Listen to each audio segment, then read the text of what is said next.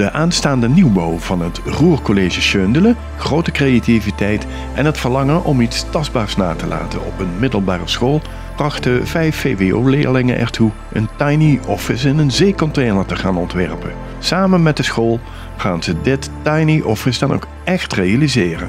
Het is in elk geval een, uh, een supermooi project van uh, een uh, groep leerlingen die ontzettend leergierig is en die echt schouders hebben gezet onder, onder dat project. Wat, ja, waar ze zelfs nog na hun eindexamen mee verder gaan. Gewoon uit eigen, eigen passie en enthousiasme ervoor. Ja, zo'n zo container ombouwen, dat was echt ons droomproject, zeg maar. En om dat echt te mogen realiseren, dat is echt wel echt onze droom geweest. En dat het nu werkelijkheid is, echt wel mooi. Dus, uh... Hoe kom je nou aan een container? Hoe kom je aan die idee? Wat ja, we wouden eerst uh, eigenlijk gewoon echt iets nalaten op deze school. Dat was een beetje ons doel. En de uh, container stond hier al.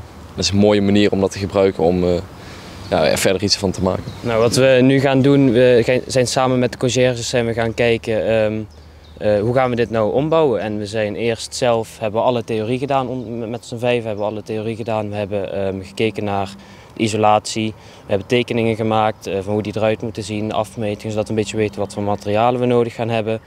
Um, daarna zijn we ook gaan kijken naar bijvoorbeeld de, de fundering, de ondergrond, uh, zodat die niet gaat verzakken, dat soort dingen.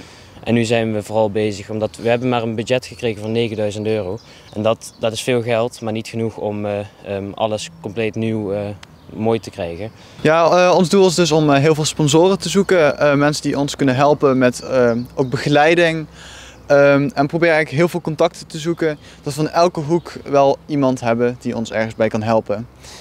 En ja, we willen eigenlijk zo dus zorgen dat we ons project heel volledig kunnen doen en dat we uiteindelijk een heel mooi resultaat gaan hebben. Ja, ons idee was eigenlijk om drie verschillende ruimtes uh, in de container te maken. Een studio, een brainstormruimte en nog een vergaderruimte. Zodat we echt een hele multifunctionele uh, ja, container hebben omgebouwd.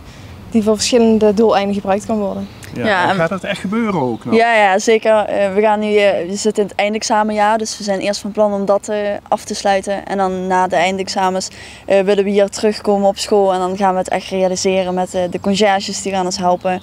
En dan hebben we waarschijnlijk ook de sponsoren geregeld en ja, dan komt hij echt in, ja, daar echt te staan. het idee is om um, de uh, maquette op te delen in drie um, ruimtes met elk een eigen functie.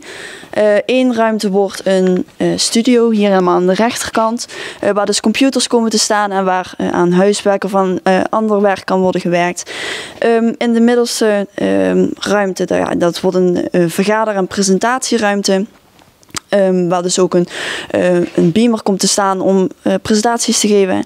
En de allerlaatste kamer, dat wordt een brainstormkamer. En daar kun je dus alle ideeën opschrijven, uh, alles wat te, te, binnen schiet. Maar het kan ook um, worden gebruikt als een tweede studio.